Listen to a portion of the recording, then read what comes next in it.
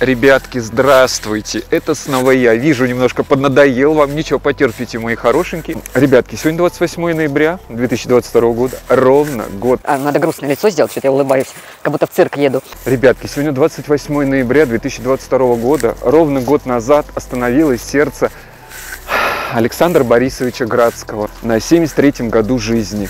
Если помните, в 2021 году у нас был ковид, сезон ковида, сезон дождей, сезон ковида.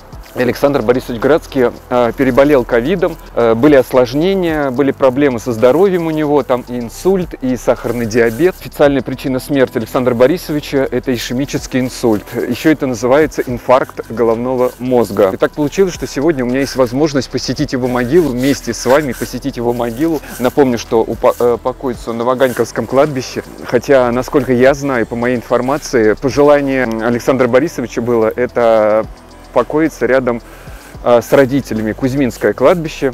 Э, Мы там тоже с вами были, где мы только уже не были, ребяточки мои хорошие, где нас только с вами не носило. Опять улыбаюсь, странно. Вот уж хорошее настроение у блогера такое бывает, да. Кстати, сегодня погода говно. Имейте в виду, погода говно, поэтому лайки жду от вас так как рука замерзла. Еще вопросики возникают у некоторых из вас, почему шея открыта. Ребяточки, у меня микрофончик тут стоит. Если вы обратили внимание, э, вот эта моя сексуальная новая куртка, она глушит э, вот эту вот э, херню, которая называется микрофоном, и поэтому звук может быть немножечко дурацким. Поэтому потерпите, мои хорошие, сами понимаете, зима, хуе мое, холодно, хватит требедонить.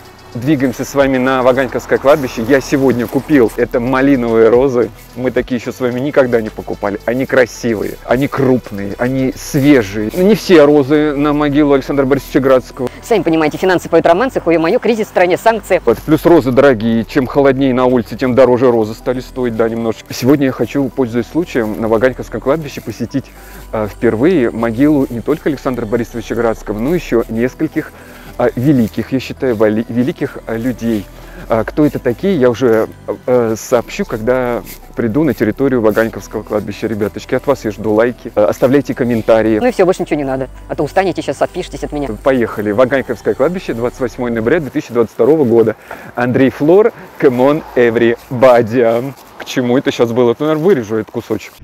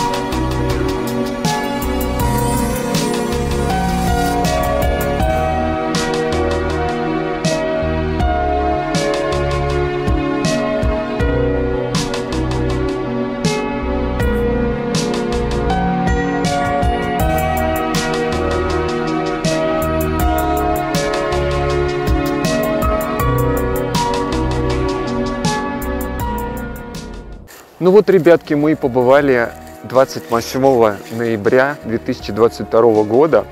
У меня сопля потекла. Так, поехали. Ну вот, ребятки, мы побывали 28 ноября 2022 года на могиле Александра Борисовича Градского. Год прошел, как не стало этого артиста, народного, заслуженного, любимого многими. На могиле тишина. Как всегда, есть цветы, горят лампадки. Э, стоит кучка журналистов, которые мне, спасибо им огромное, э, помогли снять, как я возлагаю цветы. Поставил я 6 роз, красивых малиновых роз. Интервью я не давал. А, Ну, как бы, как бы, как бы никто не просил. Я с девочкой с одной поговорил, которая говорит, да, мы пятый канал, ждем здесь кого-нибудь, может, кто-то из артистов. Ну, я не стал говорить, что я великий заслуженный народный э, блогер э, кладбищенский. Друг Андрея Разина не стал это говорить, думаю, ладно. Посетили могилу Александра Борисовича Градского. Если будем живы, будем и дальше посещать его могилу. Все, сейчас мы двигаемся на выход, ребятки. Огромное спасибо вам за внимание, за то, что посмотрели этот маленький небольшой ролик. Ролик памяти э, Александра Борисовича Градского. Жду от вас лайки, оставляйте комментарии. Напоминаю, что у нас есть телеграм-канал Андрей Флор. А Ссылочки где-то здесь будут сейчас внизу, либо в описании. Вы сможете сюда зайти туда, пообщаться. Э, Если вы адекватны. Если не адекватные, пошли вон отсюда. И не заходите сюда больше никогда. Спасибо огромное. Все, ребяточки, до новых встреч. Андрей Флор был в эфире. Пока-пока. Опять сопля потекла.